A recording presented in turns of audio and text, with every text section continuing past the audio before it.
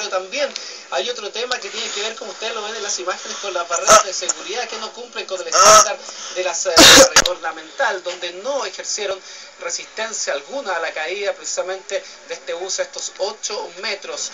Y además otra de las indagaciones que está llevando adelante precisamente la CIA de, Carabineros es la velocidad que podría haber alcanzado y también la edad del conductor que recordemos eh, está cerca de los 80 años. Vamos a escuchar declaraciones precisamente de los eh, vecinos del sector que nos cuenta un poco el comportamiento de estos microbuses que transitan desde San Fernando hasta Chimbarongo.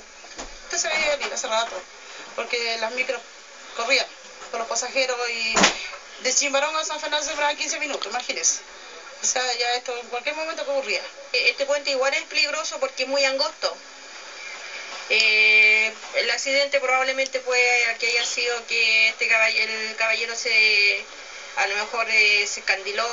Es multifactorial, aquí varias situaciones, el diseño vial, eh, las características propias de quien conduce, las condiciones de quien conduce, eh, las condiciones mecánicas de la máquina, estos aspectos tienen que ser abordados convenientemente y tratados convenientemente desde el punto de vista técnico y científico del personal nuestro.